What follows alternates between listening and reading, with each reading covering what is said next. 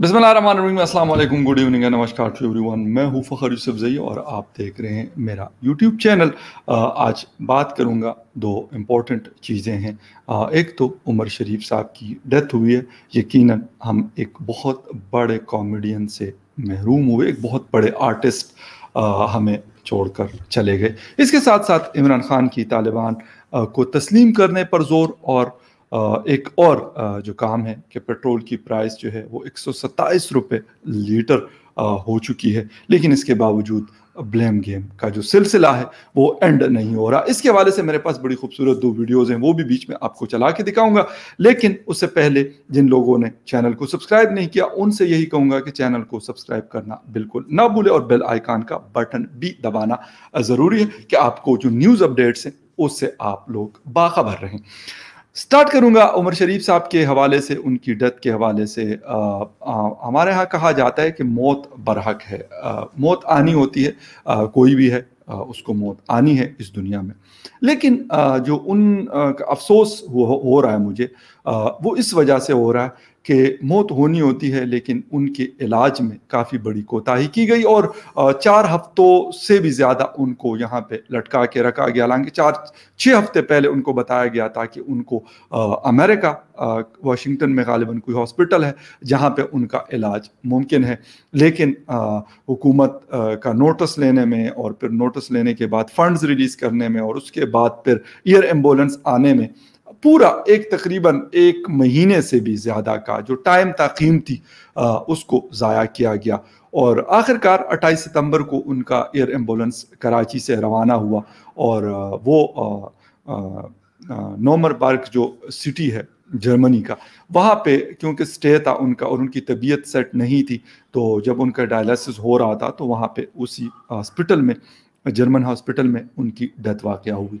अफसोस के साथ कि इतने बड़े एक लेजेंड को हम इस तरीके से ट्रीट करते हैं, मैं अक्सर कहता हूँ कि हम अपने हीरोज़ के साथ ऐसा ही करते हैं। अफसोस हमारी हिस्ट्री शायद ऐसी रही है कि हमारे जो भी हीरोज़ हों, वो हमारे आर्ट के फ़ील्ड के लोग हों, हमारे साइंस के फ़ील्ड के लोग हों, या किसी और फ़ील्ड के हमारे लोग हों, जितने भी हमारे हीरोज़ होते हैं, हम उनके साथ आखिरी वक्त में इसी तरह का बर्ताव करते हैं और उनको आ, मतलब वैसे तो लोग कहते हैं कि यार पाकिस्तान के पास पैसे पैसे पैसे। मैं कहता हूँ इतने अलल्लो तलल्लो के लिए बहुत पैसे हैं हमारे पास लेकिन एक इतने बड़े लेजेंड के इलाज करने के लिए अगर दो तीन लाख या पाँच लाख डॉलर खर्च हो जाए तो मेरे ख्याल में ये कोई इतनी बड़ी चीज़ नहीं है। पाकिस्तान में इस तरह की शायद हज़ारों नहीं, लाखों किस्म की फजूल की चीज़ों में इस तरह की चीज़ें पैसा खर्च होता है। लेकिन अब कुछ हो नहीं सकता। हम वही है कि अफसोस के अलावा, मलाल के अलावा हमारे पास कुछ होता नहीं है। इमरान खान साहब की हुकूमत हो? और मैं उनको ब्लेम नहीं करूँगा सिर्फ़ इमरान खान साहब को इस चीज़ के लिए। ओवरऑल हमारी, मैंने कहा कि हमारी हिस्ट्री अफसोस के साथ ऐसी रही है। उनसे पहले भी जो हुकूमतें थी, उनका भी यही रवैया होता था कि चीज़ों को लटका के रखो कि मतलब बस ठीक है हो ही ना। इसी तरीके से इनके साथ भी हुआ। खैर, अब उनके लिए हम दुआ के अलावा और कुछ नहीं हो सकता और अफसोस के अलावा हमारे पास इस वक्त कुछ नहीं है कि हम एक बहुत बड़े लेजेंड से इस वक्त महरूम हो चुके हैं, जो सिर्फ़ पाकिस्तान में नहीं, बल्कि हिंदुस्तान और पूरी दुनिया में जाने और माने जाते थे। बहुत बड़े बड़े आर्टिस्ट जो हिंदुस्तान के हैं, जिसमें अमिताभ बच्चन साहब जैसे लेजेंडरी मैं कहूँगा, उन जैसा शायद सुपरस्टार मैं कहूँगा कम नहीं होगा। या बाकी उनकी जो बॉलीवुड इंडस्ट्री के बड़े बड़े नाम हैं सुपरस्टार्स वो बड़ी रिस्पेक्ट करते थे, बड़ी इज़्ज़त देते थे और उसकी वजह उनका उनका काम था।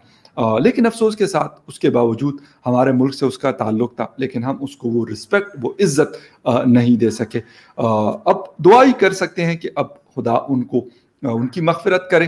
अफसोस के साथ मैंने कहा कि हमारे पास यही चीज़ें बची हैं एंड में। अब आऊँगा। इमरान खान साहब के हवाले से दो तीन चीज़ें हैं उन्होंने बहुत ज़ोर लगाया हुआ है। अमेरिका के ऊपर भी वो ज़ोर दे रहे हैं कि वो तालिबान को तस्लीम करें। आ, मेरा आ, एक आ, ये है कि भाई तालिबान को वो तस्लीम करें या ना करें वो आपके कहने से तो मेरे ख्याल में कम अज़ कम नहीं करेंगे। इतना तो अंदाज़ा मेरे ख्याल में पूरी दुनिया को भी है मुझ जैसे जिसे कहते हैं जर्नलिज्म के तालब इलम को भी अंदाज़ा है और जो बड़े बड़े लोग हैं जिनको जिसे कहते हैं कि बड़ी बड़ी प्रिडिक्शंस वो करते हैं उनको भी ये पता है कि इनके कहने से तो वो तस्लीम नहीं करेंगे उनका अपना एक सिस्टम है अगर वो आ, आ, उनको लगा तो शायद वो कर लें वरना इमरान खान साहब के कहने पे या ज़ोर लगाने पे ये नहीं करेंगे टीआरटी के साथ उनके इंटरव्यू में उन्होंने ये बात की। अब आ, मतलब इनके जो लोग हैं या इमरान खान साहब जो हैं वो अपने नंबर बनाने या इसके जो काबीना के जो दरबारी में कहता हूँ वो अपने नंबर बनाने के लिए मुख्तलिफ़ किस्म के हरबे इस्तेमाल करते हैं। मेरे पास एक छोटी सी वीडियो है पहले वो आपको दिखाता हूँ और फिर आगे जाके बात करते हैं कि क्या क्या चीज़ें और चल रही हैं। इमरान साहब जहाज़ पे जा रहे थे जी जी। तो इन्होंने अपने वजीरों से कहा कि ये मैं पाँच हज़ार का नोट फेंकूं। तो क्या होगा? मालूम नहीं तेरे को तेरे को मालूम तो नहीं। फवाद चौधरी साहब बैठे थे इन्होंने कहा कि खान साहब ये जिस गरीब आदमी को नोट मिलेगा वो आपको दुआएँ देगा। हाँ सही कह रिया तो वहाँ पे फिर ये मुराद सईद ने कहा ये फवाद चौधरी नंबर ले गया। उसने कहा खान साहब हज़ार हज़ार के नोट फेंके पाँच बंदों का भला होगा। वहाँ पे फिर फैसल वाडा साहब ने कहा कि ये मुराद सईद मुझसे नंबर ले गया। उसने कहा खान साहब पाँच पाँच सौ के नोट फेंके। दस बंदों का भला होगा। हाँ, हो क्या रहा है भाई? ये मीन गंडापुर साहब ने कहा कि ये फैसल वाडा मुझसे नंबर ले गया। उसने कहा कि इमरान साहब यूँ करें कि आप सौ सौ के नोट फेंकें तो पाँच सौ बंदों का भला हो जाएगा। वहाँ पे जो जहाज़ का वो सर्विस करने वाला बंदा था उसने अपने साथी को कहा ये खान साहब खुद ही छलांग लगा दें तो 22 करोड़ का भला हो जाएगा। कितनी डीप बात है ये। ये ये बहुत गहरी बात है।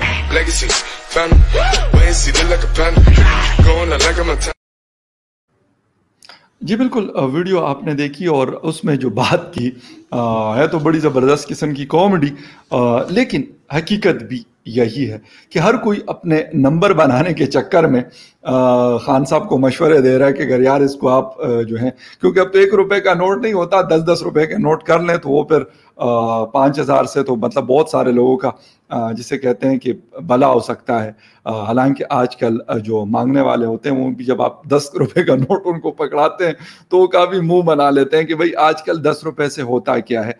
और उसके पीछे बहुत सारी चीज़ें हैं। जिस तरीके से मैंने आपको शुरू में बताया कि पेट्रोल हमारे यहाँ एक सौ सत्ताईस रुपये one hundred and twenty seven rupees cross कर चुका है। और अभी भी हमारे फाइनेंस के मिनिस्टर इमरान खान साहब और फाइनेंस के मिनिस्टर शौकत तरीन, फवाद चौधरी इसके अलावा जितने भी उनके लोग हैं फ़रुख हबीब साहब, सब लगे हुए हैं।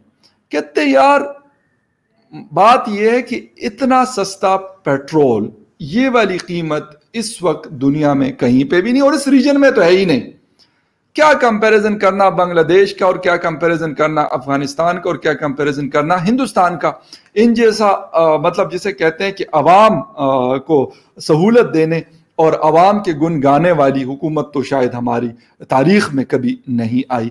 अफसोस के साथ कि लोग including me as a Pakistani, मैं कहता हूँ कि यकीन करें कि वो हमारे यहाँ कहा जाता है कि लोग नाक तक पहुँच चुके हैं।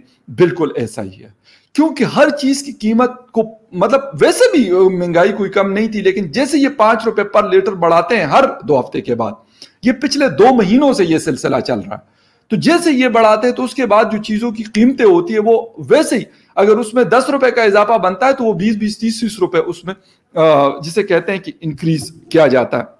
और ज़िम्मेदारी आज भी किसके ऊपर डाली जा रही आज भी फवाद चौधरी साहब का ये बयान है कि इस तरह के हालात का जिम्मेदार जो है वो आसिफ अली जरदारी और मियाँ नवाज़ शरीफ है। अफसोस मुझे इस बात के ऊपर हो रहा है कि भाई मियाँ नवाज़ शरीफ और आसिफ अली जरदारी को तो मेरे ख्याल दो हज़ार तेरह में उनकी हुकूमत खत्म हुई, सात, आठ साल हो गए। मियाँ नवाज़ शरीफ की हुकूमत दो हज़ार अठारह में खत्म हो गई, तकरीबन चार साल होने को है। किस तरीके से आप उनको ब्लेम कर सकते हैं और उनकी हुकूमतों में तो ये वाले हालात हमारे भाई नहीं थे हमें याद है कोई मतलब ये कोई इतनी भी पुरानी बात नहीं है कोई पचास साल पुरानी बात है कि हमें नहीं पता इसका। 2013 भी अभी हमें याद है अच्छे से और 2018 तो खैर बिल्कुल ही करीब में बहुत अच्छे से याद है कि उस वक्त चीज़ों की कीमतें क्या थी।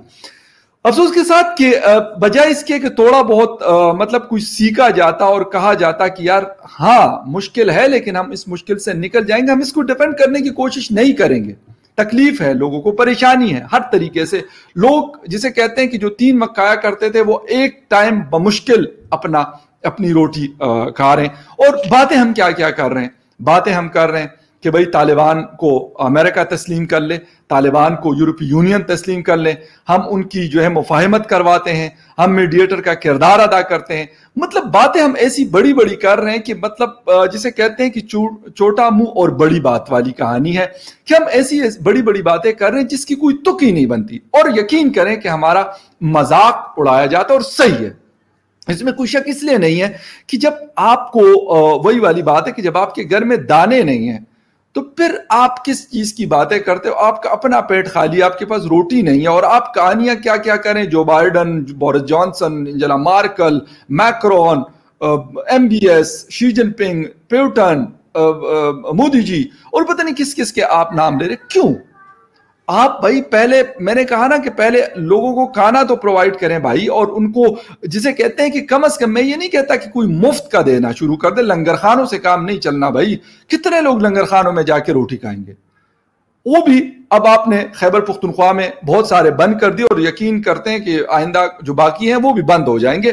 कितने लोग लंगर खानों में जाके लाइनों में खड़े होके और खाना खाएँगे? बहुत सारे सफ़ेद पोश लोग कभी ये गवारा नहीं करेंगे कि वो लंगर खानों से जाके खाना खाएँ, क्योंकि हर किसी की अपनी एक सेल्फ रिस्पेक्ट है, नहीं जा सकता भाई कि इस तरीके से रोटी मिले।